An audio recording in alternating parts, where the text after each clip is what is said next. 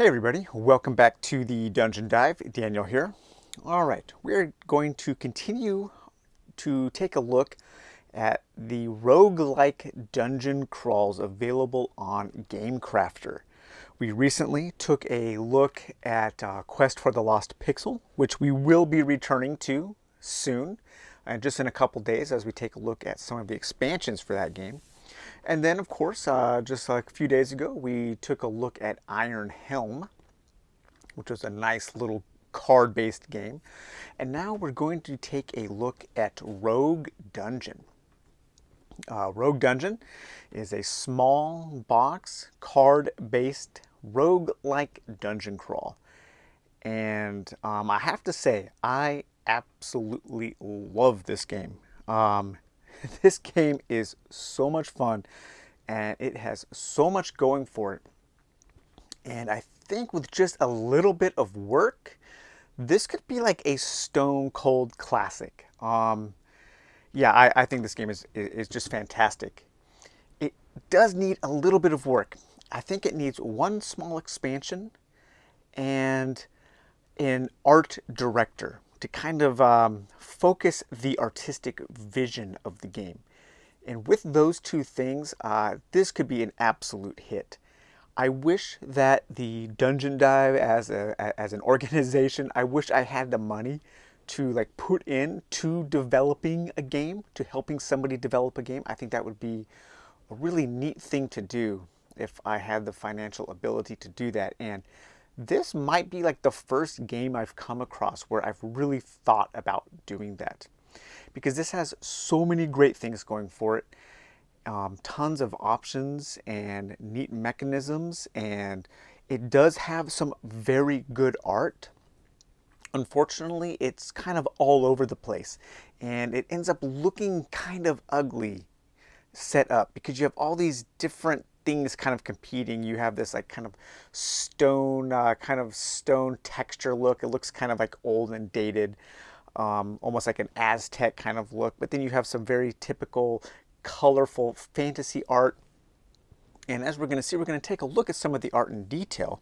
And a lot of it is really good. I was actually surprised at how good some of the art is. It just doesn't um, it doesn't work together to form a cohesive vision, which I would like to see.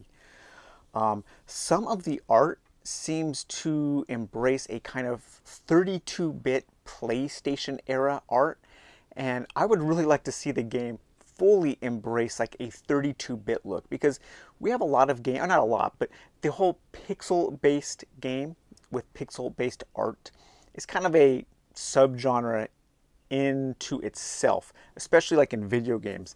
One thing that people haven't embraced very much is that 32-bit look, that early PlayStation era, which does have a definitive look. Uh, there is like one or two video games, I think um, Anodyne 2, I believe it's called, is kind of a celebration of the early 32-bit days of computer graphics. And this might be a perfect game for that. Um, but some of the other art is more typical fantasy art, and I think even that is good. So we'll take a look at that as we go. But um, at its core, what Rogue Dungeon is, and let's see if it does name the um, yeah. So Rogue Dungeon, uh, the artwork was uh, is done by John Bonnard Smith, the design by Albert Danish and Chad Minichia and this is available on the Game Crafters.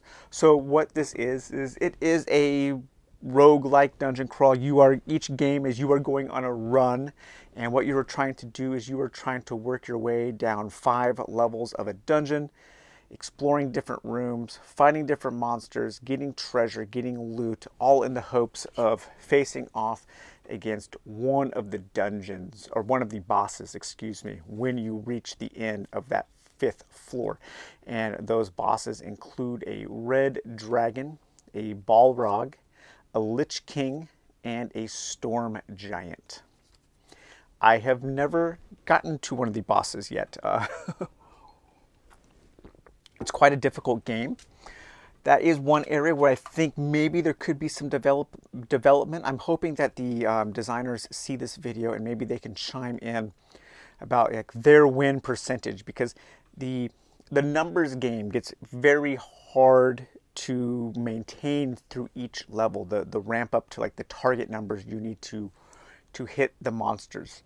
So I'm just wondering if maybe maybe they, they could scale that a little better. That might be something to think about. But um, but man, there is so much going for this game. And the first thing you're going to do is you're going to pick a character. And this is one area where I think the art could be better. Not the art, but the design of the card. There's just there's a lot of clashing colors, and um, it just you know if you had a more cohesive design to the look of these character cards, it would go a lot in kind of just creating a, a, a more professional feel to the game. But you have uh, these different characters. You have a crusader, a rogue, a dwarf miner, a sorcerer and an elf ranger and um, there are opposite genders for each so you can play whichever gender you want male or female there I really like this uh, female crusader. She's pretty cool looking. And then each of the characters is going to have a number of stats. You have like a strength agility and knowledge. You have their health and their wounds. Um, their luck, which luck is a, a, currency that you can spend to uh, help yourself out in different stat tests. And you also have a uh, your starting damage value. Now each of the different characters is going to have a um, a standout stat. What is it? What do they call that? A, a main stat. I forgot what they call that here. Uh, let me just look real quick. Um, you're going to have your primary ability primary ability. So the Crusader's primary ability is his or her strength. The Rogue's is agility. The Miner is strength. Uh, the Sorcerer's is knowledge. And the Elf Ranger's is agility. And that's basically going to be used in combat. And anytime you're going to do a test of your core ability, you're going to use that one that's been highlighted. And then with the characters, each of the characters is going to come with a set of uh, starting equipment cards. And so here we have our male and female Crusader. And the Crusaders are going to start with a shield, which is going to go on this character sheet here. This is your whole board. This is where you lay out your dungeon and your character side. Nice little area to keep everything contained. You're going to start off with a gold cup, which is treasure, because at certain points throughout your adventure, you're going to be able to trade treasures for other items. So you want to collect treasure in order to have it. Sometimes you will also be told to, if you fail a test, you will have to discard treasure or take damage, that kind of thing. All right, the Crusader is also going to start off with a sword, which has the icon for his or her um, core ability there. And it also has a special ability where you can spend luck to do more damage. And then three different skills turn undead, blessed, and hand of God. Turn undead and hand of, uh, hand of God are discarded to use, whereas blessed is not. So these are the three skills that your uh, Crusader will have throughout the game. This is one area where I would like to see a small expansion. I will talk about uh, the, the small expansion I would like to see for this game. I would like to see more abilities for each character that you can get as you level up to help um, just build your character in more interesting ways than just adding loot. So more skills for each character would be really nice. And then there is a deck here of cards where you will have each of your um, classes will have their own abilities. And they are pretty different some of these um, items that they start with will help in certain tests, like ropes will help pass certain kinds of traps.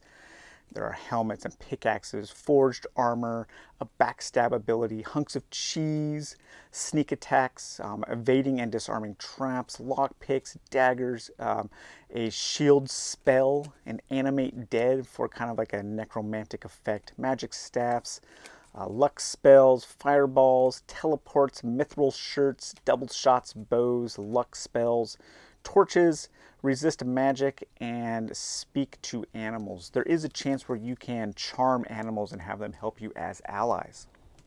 And then you're also going to start each game. Um, oh, the, the um, Crusader also starts with a loaf of bread for some healing. And then each um, character is going to start with three items from the special item deck, and those are camping gear. And that allows the uh, character to camp and heal at certain points throughout the game. So then what you're going to do is uh, you're going to set your stats up here. So you have your core stat at the top here, and then your, your, your strength, your um, agility, knowledge, and health. You're going to keep those um, depending on where they are. Each one is going to have a certain number of XP that as you defeat enemies and pass traps, you're going to learn, you're going to earn experience points, and then you can buy new um, upgrades in these stats to raise those up. You can uh, buy more health to raise your health up, and you're going to keep track of your health, your luck, your damage, and your XP down here in this little track down here with these small little chits.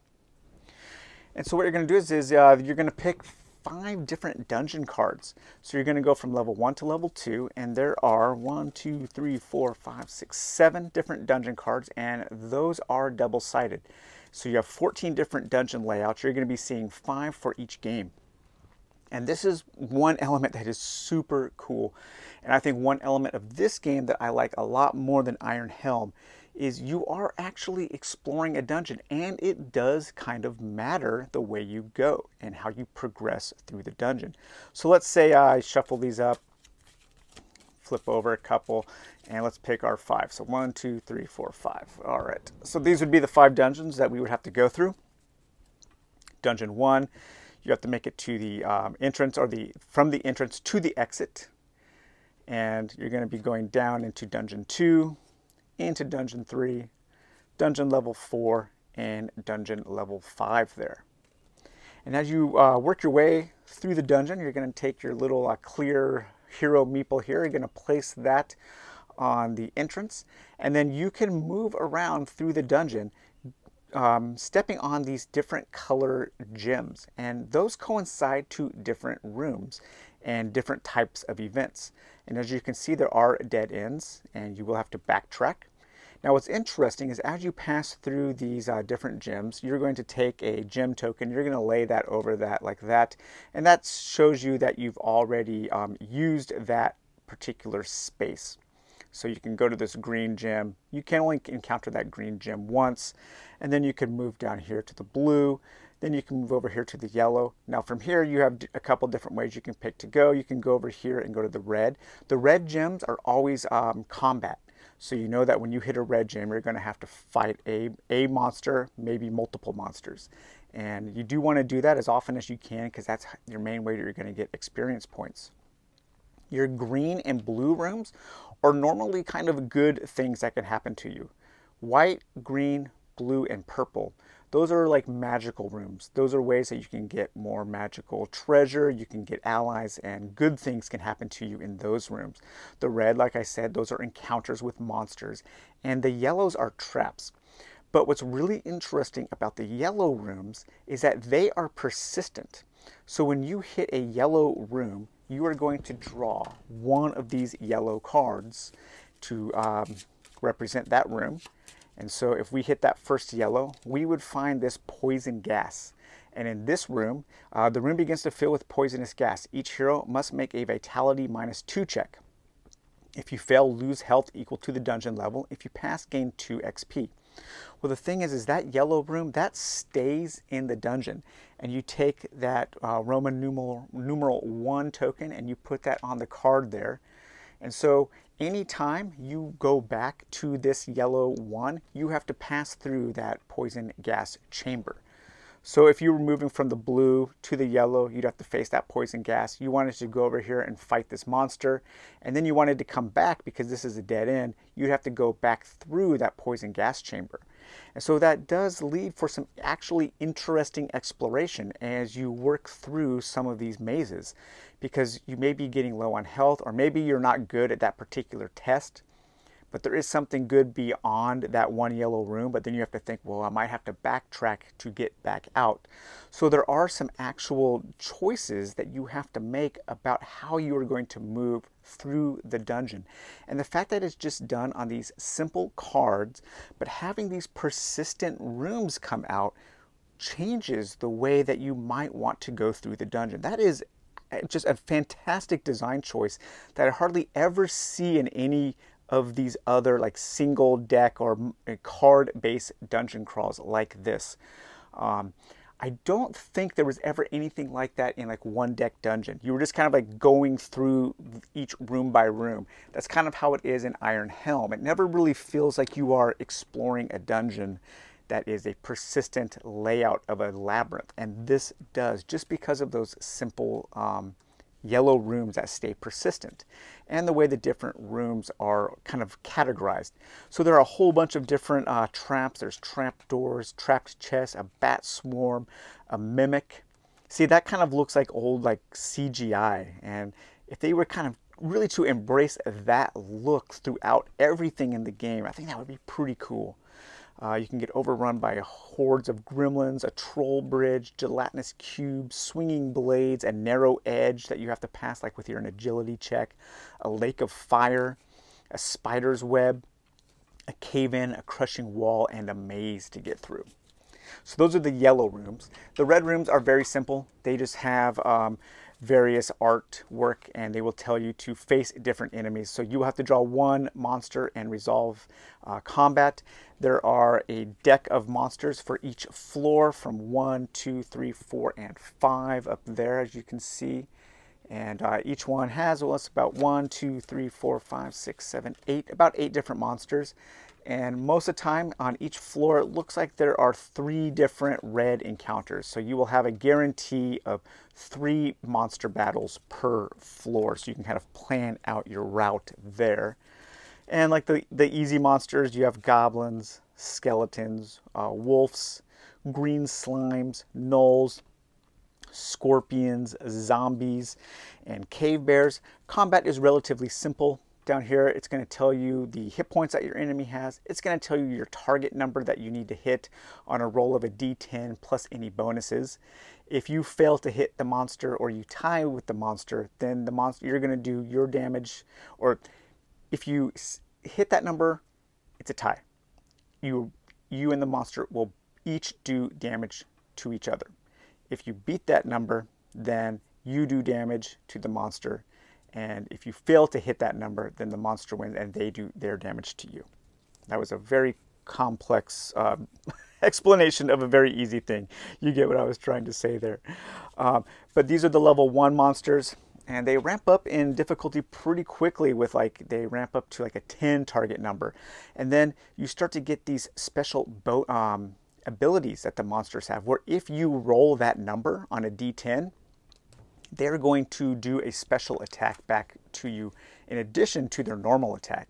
And there are a number of monster special abilities from absorbing attacks, curses, dragon scales, extra attack, flame strikes, lightning, uh, melting armor, regen, rings of fire, sleep, so a whole bunch of different things that the um, special abilities that the monsters can do back to you.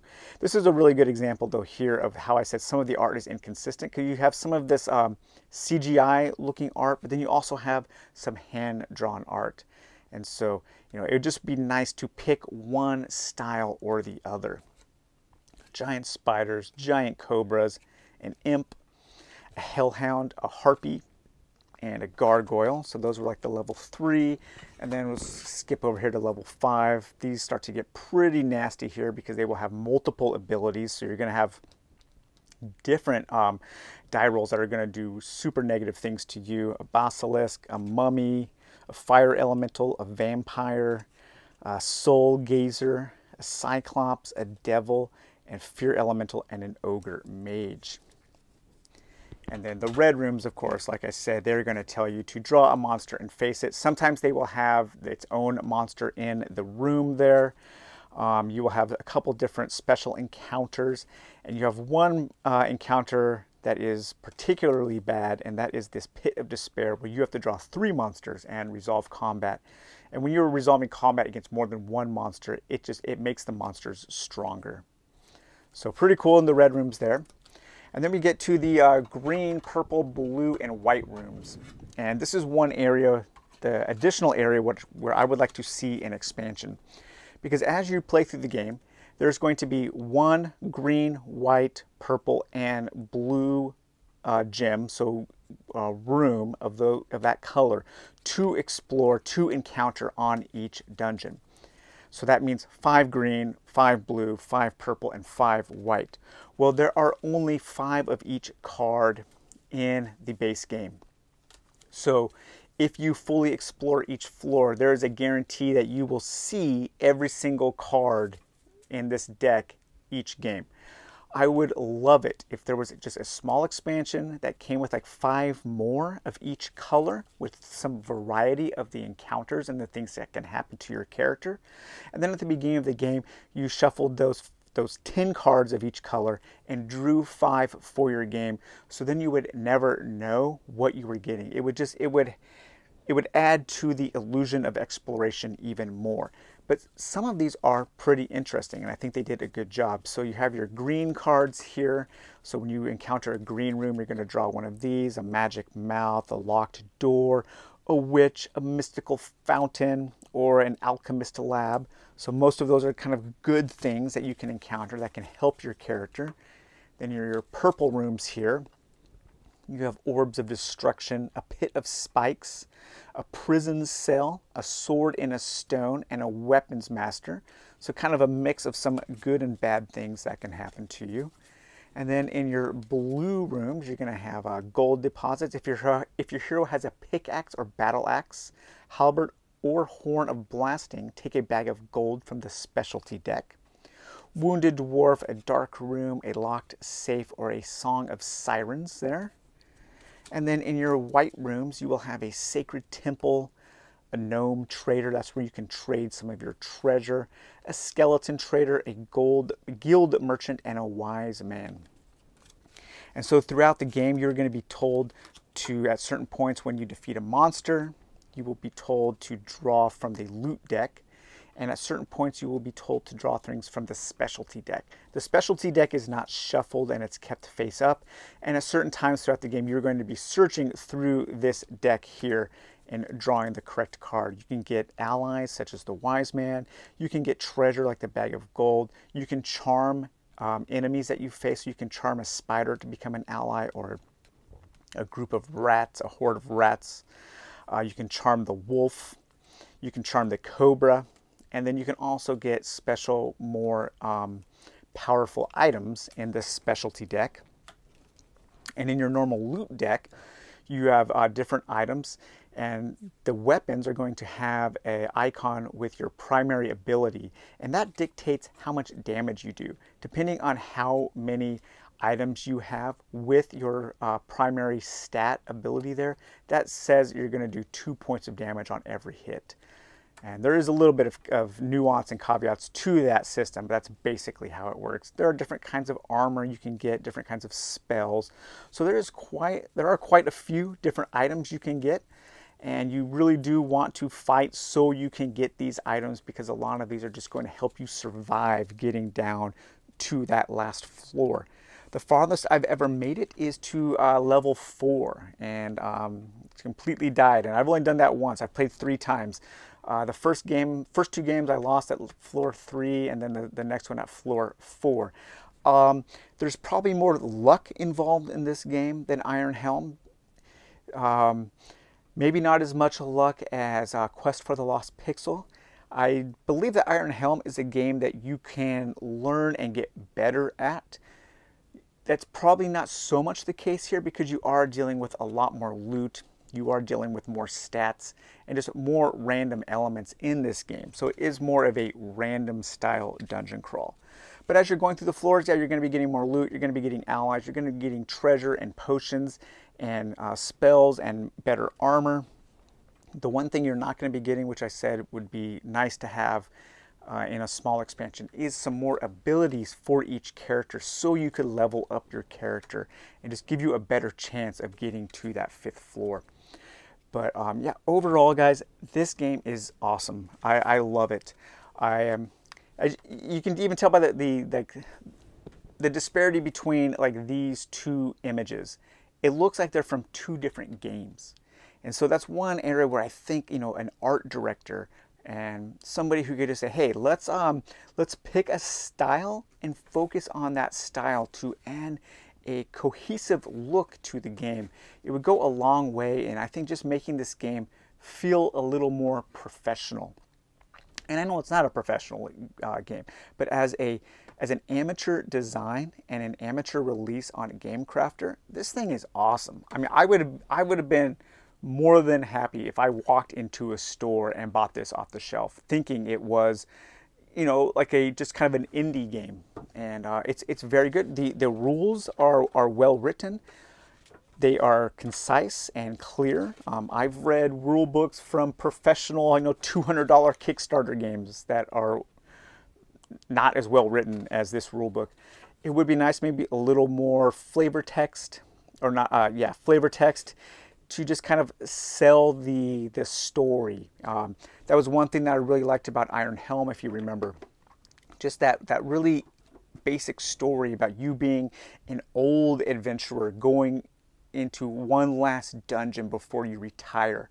You know, Rogue Dungeon could use something like that just to add that little bit of narrative spice to the already great random card-based dungeon crawl that this is. So yeah, that was a look at Rogue Dungeon. I highly, highly recommend this game. Um, if you want a card-based roguelike dungeon crawl with cool exploration and neat combat and items, this is one of the best out there, guys. This is a really, really good game. Just kind of, um, you know, you might have to uh, avert your eyes a little bit at some of the the, the, the clash of, of the, the, the way that, that the different artistic elements might clash a little bit. But just get over that and you will, I think, have a lot of fun with Rogue Dungeon. Highly recommended.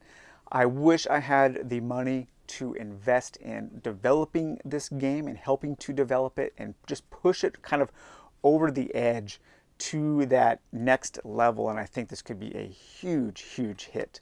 So, all right, guys, well, I hope you enjoyed that video, and we will talk to you later. Bye-bye.